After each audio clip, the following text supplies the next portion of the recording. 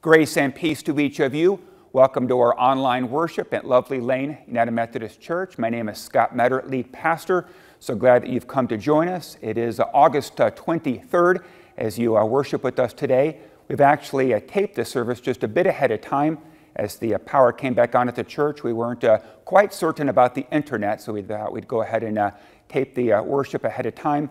But again, so glad that each of you are here, glad that we can worship together as one. It's been a very uh, challenging couple of weeks, a very trying couple of weeks after the storm, but again, so glad that we can come here together as the body of Christ. Do want to mention a few announcements in life of the church. want to mention that this afternoon at 2 o'clock, we're having a blessing of the backpacks in our church parking lot. And then at 4 o'clock, we'll be having our confirmation worship service. We'll have just the confirmation students here in the sanctuary at 4 o'clock, and then pictures with the family outside in our parking lot and 445. But also mention on a Tuesday, beginning about noontime, the Kennedy Food Pantry will be setting up on our church lawn. We did this last week and had a, uh, just a sensational turnout, so we're going to do it again. So uh, canned goods and other non-perishable items can be brought here. And if you need to pick something up as a uh, bit of a help to your family, go ahead and do that too. So it's kind of a, a bringing in and also a taking out. But again, the Kennedy Food Pantry will be here on our church lawn on a Tuesday beginning at noontime with anything else going on, make sure that you contact our church. If we can help with anything at all, let us know. It's been, again, a tough time. We want to help out in any way that we can. With all of this, we'll now have Pastor Christina lead us into our opening prayer. Will you pray with me? Loving and most gracious God, we uh, give you thanks for this uh, beautiful Sunday morning. We give you thanks for um, that morning cup of coffee or tea. Um, maybe we're spending it outside in your creation, and maybe we're spending it um, around the television uh, to watch um, this Sunday service.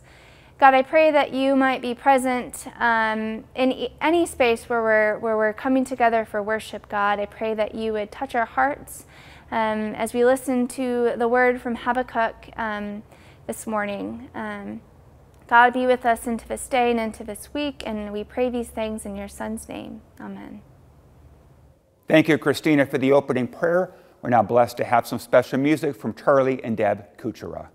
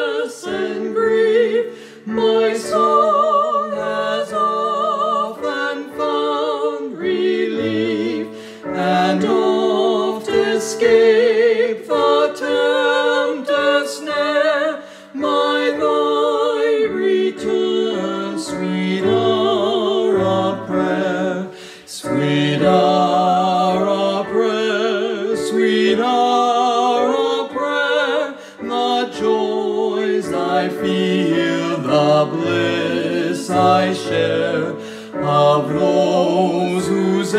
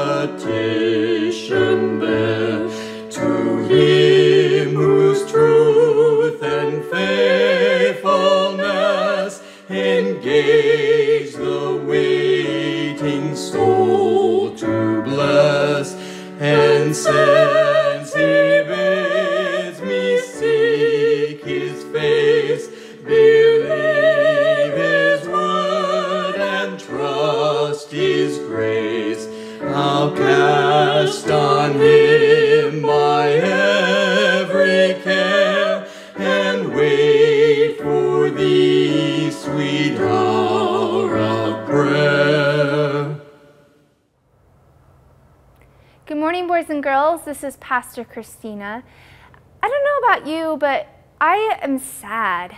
I'm, I'm sad for these beloved trees in Cedar Rapids that were destroyed, some damaged. Uh, you know, I'm, I'm sad that these, these trees that provided shade for pioneers that started the city of Cedar Rapids are these same trees that provide the shade for us today.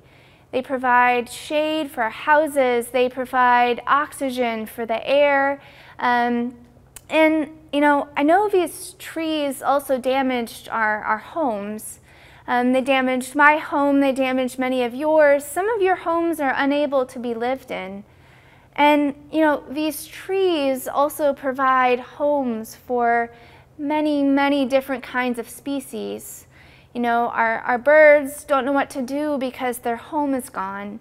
Um, you know, the chipmunks in my yard are scurrying everywhere, unsure of what's happening. And our squirrels are, um, you know, in a chaotic space um, when all these trees fell down. Um, but there's also hope of resurrection and new birth. Um, I'm reminded of every autumn, uh, the trees turn beautiful colors and fall to the ground. And these wintertime trees look very sad, but we have the promise of spring, that there are new buds, new creation, new leaves, new branches, and again we will have a beautiful canopy and a beautiful summer shade once again. And again, I'm reminded by one of my favorite poems called The Sacrament of Letting Go. Slowly, she celebrated the sacrament of letting go. First, she surrendered her green, then her orange, yellow, and red. Finally, she let go of her own brown. Shedding her last leaf, she stood empty and silent, stripped bare Leaning against the winter sky, she began her vigil of trust. Shedding her last leaf, she watched it journey to the ground. She stood in silence, wearing the colors of emptiness. Her branches wondering, how do you give shade with so much gone? And then the sacrament of waiting began. The sunrise and the sunset watched with tenderness clothing her with silhouettes that kept her alive. They helped her to understand that her vulnerability, her dependence and need, and her emptiness, her readiness to receive, were giving her a new kind of beauty.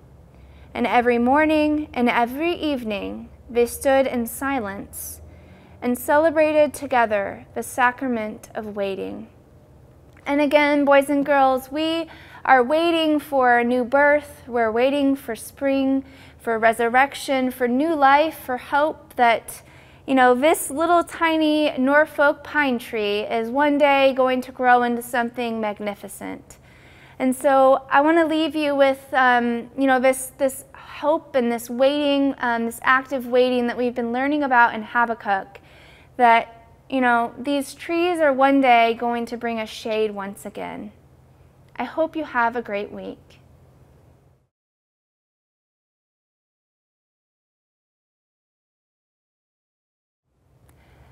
Hear these words from Habakkuk chapter 3, verses 1 through 19. The prayer of Habakkuk, the prophet, according to Shigionoth. Lord, I have heard your reputation. I have seen your work. Over time, revive it. Over time, make it known. Though angry, remember compassion. God comes from Teman, the Holy One, from the mountain of Paran. His majesty covers the heavens, and his praise fills the earth. His radiance is like the sunlight, with rays flashing from his hand. That is the hiding place of his power. Pestilence walks in front of him, plague marches at his feet. He stops and measures the earth. He looks and set out against the nations. The everlasting mountains collapse. The eternal hills bow down. The eternal paths belong to him. I saw the tenants of Cushan under duress. The mountains of the land of Midian were quaking. Was the Lord raging against the rivers? Or was your danger directed against the rivers? Or was your fury directed against the sea? When you rode on your horses, or rode your chariots to victory, you raise up your empty bow, uttering curses for the arrows. With the rivers you split open the earth. The mountains see you and writhe. A flood of water rushes through. The deep utters its voice. It raises its hands aloft. Sun and moon stand still high above. With the light, your arrows shoot. Your spear at the flash of lightning. In fury, you stride the earth. In anger, you tread the nations. You go out to save your people. For the salvation of your anointed, you smash the head of the house of wickedness, laying bare the foundation up to the neck. You pierce the head of his warrior with his own spear. His warriors are driven off, those who take delight in oppressing us, those who take pleasure in secretly devouring the poor. You make your horses tread on the sea. Turbulent waters foam. I hear, and my insides tremble. My lips quiver at the sound. Rottiness enters my bones. I tremble while I stand, while I wait for the day of distress to come against the people who attack us.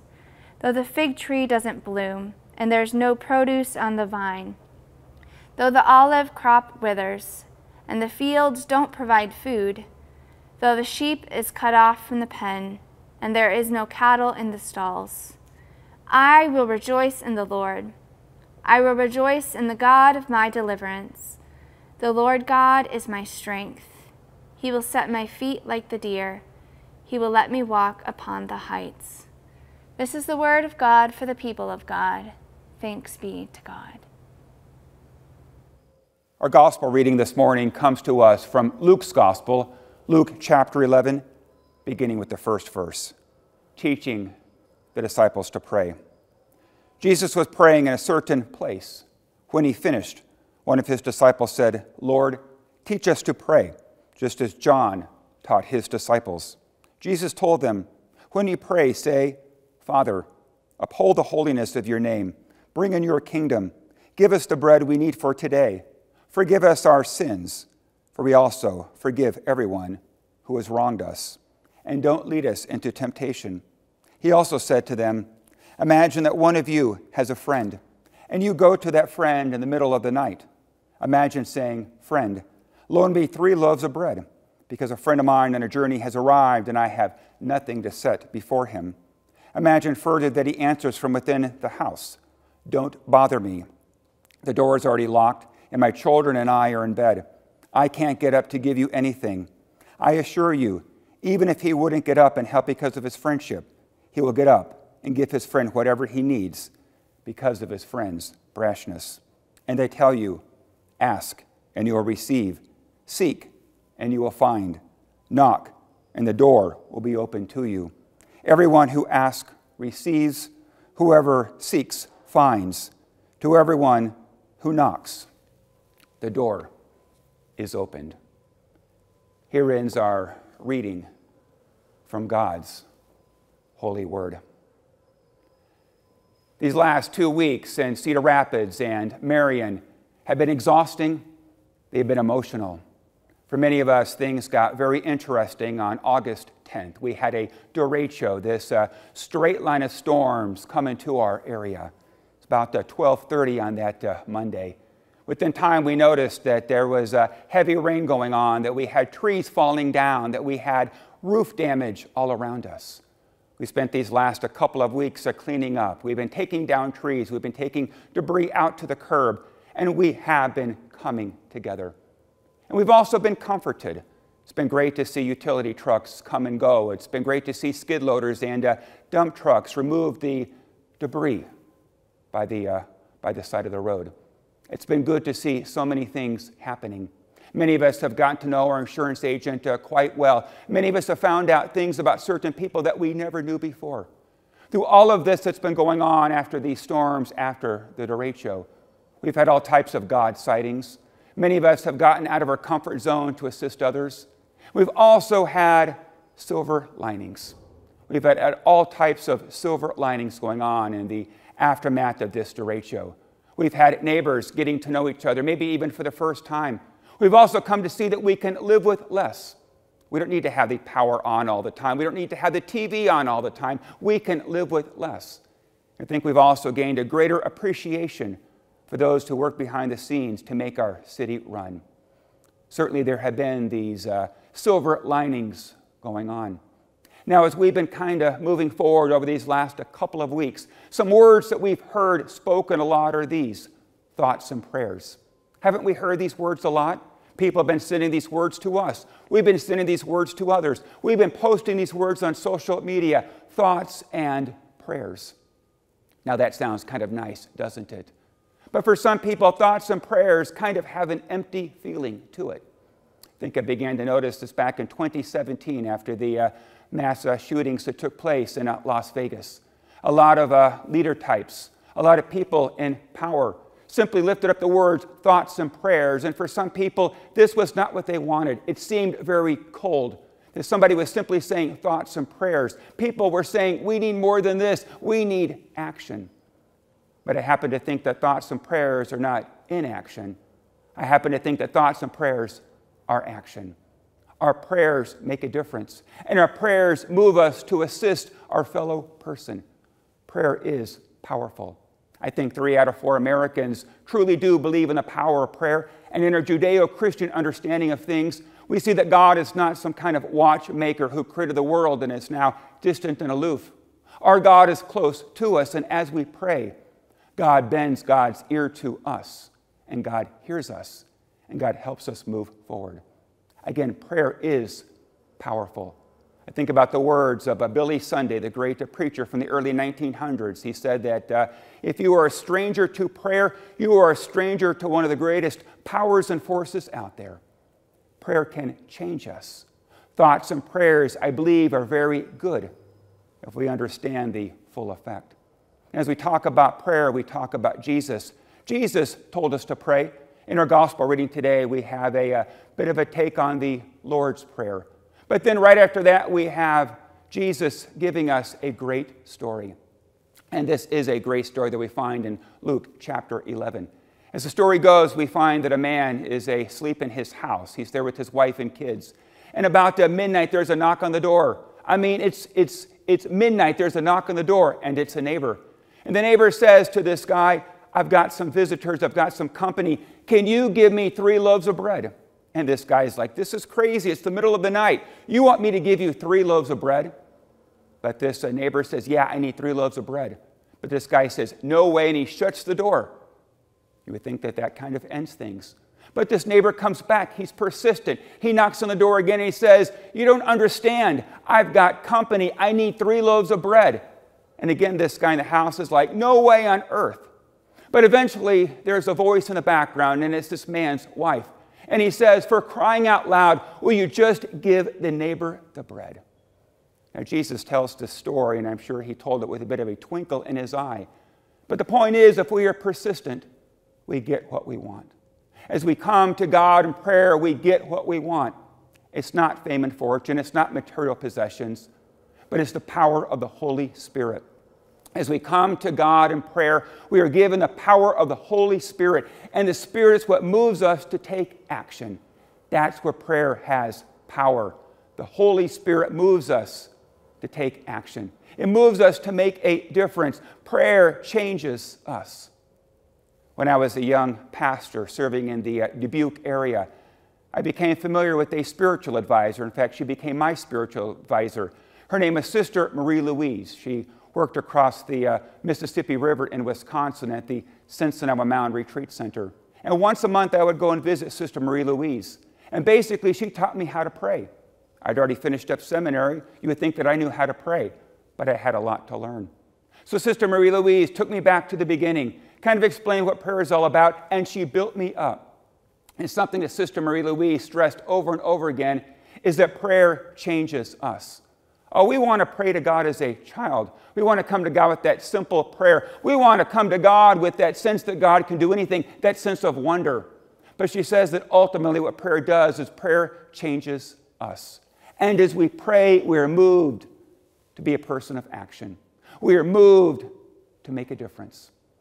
Now, when we talk about these words, thoughts, and prayers, we're talking about others. We want to be there for others. And what we're talking about is intercessory prayer. Richard Foster, in his book entitled Prayer, talks about all these different types of prayer, and he focuses too on intercessory prayer. Intercessory prayer is prayer for others, and it's wanting something for somebody else that is so great that we can't do it totally ourselves. So we do what we can do, but we pray that God can fill in the blanks and God can do the rest. That is intercessory prayer. So we pray to be empowered by the Spirit to do what we can, and we trust that God can do the rest intercessory prayer. But we have to do our part.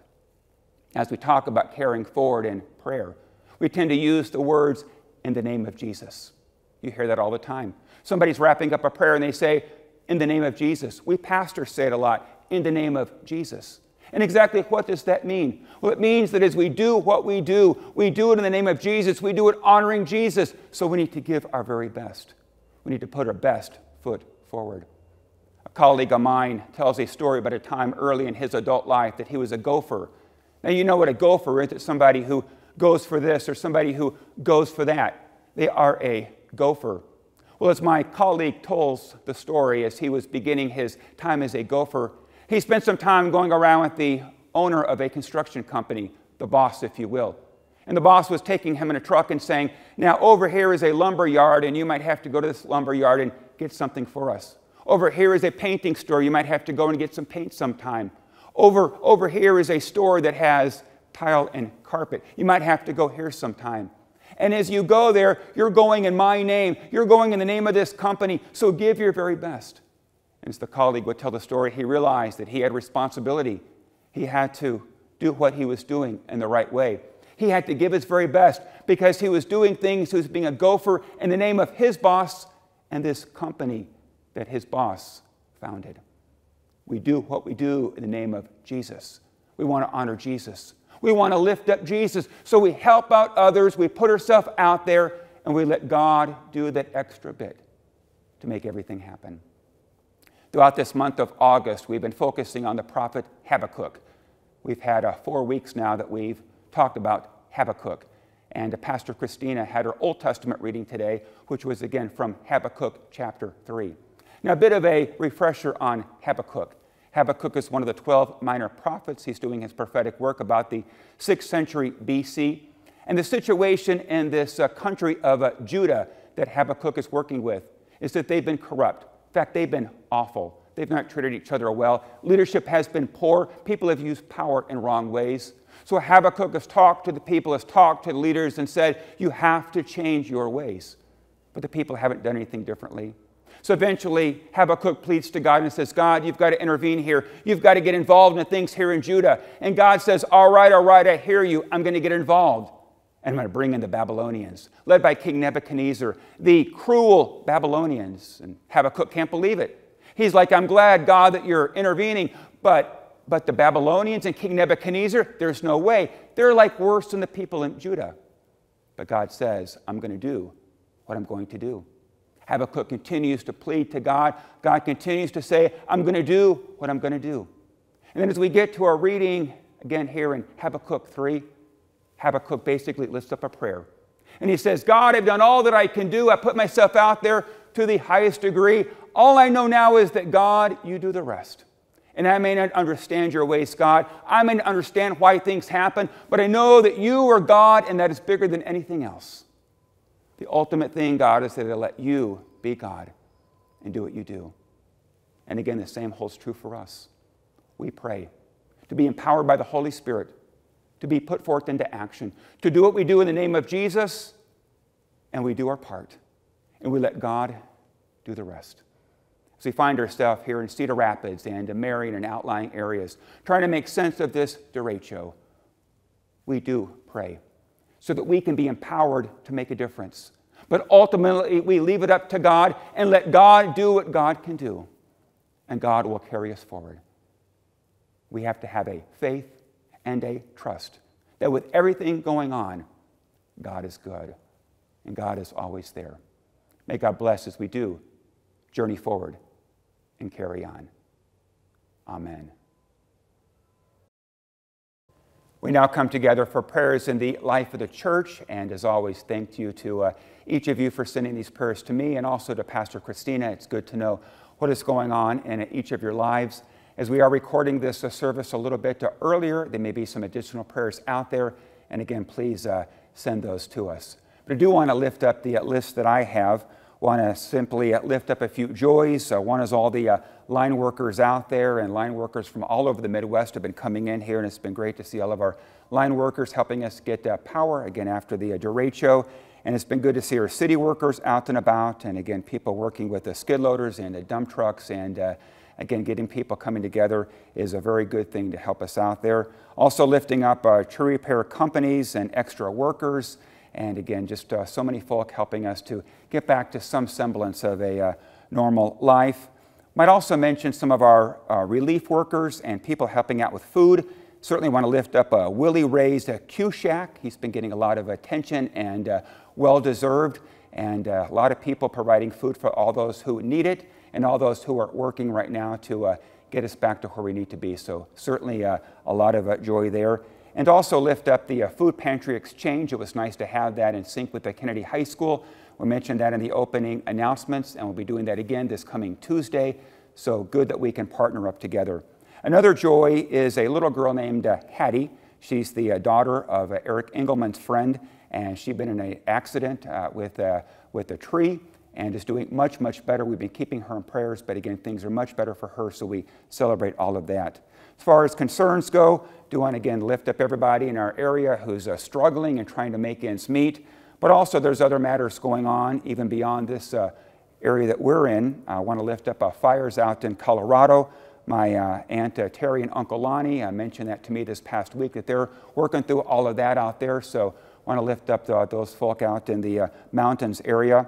Also, Lisa Roche from our congregation had a procedure this past week, so prayers for her healing. And again, lift up those who are currently without power. Uh, we still have some people out there without power, and also just some mental health concerns. This uh, time that we're in following the uh, derecho and also with the pandemic has been a lot for many, many people, for many of us. So prayers for many folk on that end. But again, glad that uh, we can come together, glad that we can lift up these joys and concerns. With all of that, let us have time for a silent meditation. I'll move us into a pastoral prayer, and then we'll have our Lord's Prayer.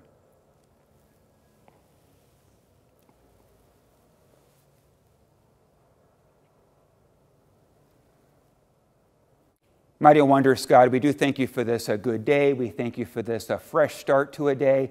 And God, we thank you for all of life. Life is not easy. Life is many times challenging. Some things we bring on ourselves, some things that we have no control over. But with it all, God, we carry forward. We try to be faithful. We know that you meet us in our time of need. You give us sisters and brothers that surround us. And you help us find good in the midst of bad and you help us carry forward. And certainly in the uh, midst of this uh, time following the storm, we do carry forward. We know that we're not alone and that uh, so many are working hard to make our lives as good as they can be as we try to assist others along the way. Certainly uh, carry us forward into the end of this month and into the fall. Certainly uh, so much uncertainty out there, and certainly be with our schools and the leaders, be with our city leaders, be with our state leaders, be with our national leaders, be with so many people who have tough decisions to make and help us to be supportive and again to keep carrying forward God as your people. We speak all this in the name of your Son, who taught us to pray, saying, Our Father, who art in heaven, hallowed be thy name, thy kingdom come, thy will be done on earth as it is in heaven. And give us this day our daily bread, and forgive us our trespasses, as we forgive those who trespass against us. And lead us not into temptation, but deliver us from evil. For thine is the kingdom, and the power, and the glory forever. Amen. Well, it certainly has been good to worship with each of you. I do yearn for the day that we can worship together in person here in the sanctuary. I know that day will come. But in the meantime, I'm so appreciative of our technology and people like Eric Wiley who work behind the scenes so that we can have our worship services online. So go in peace, and we'll let Pastor Christina send us out. And now may you go in peace to bring about justice in the world, and may you know that God is God.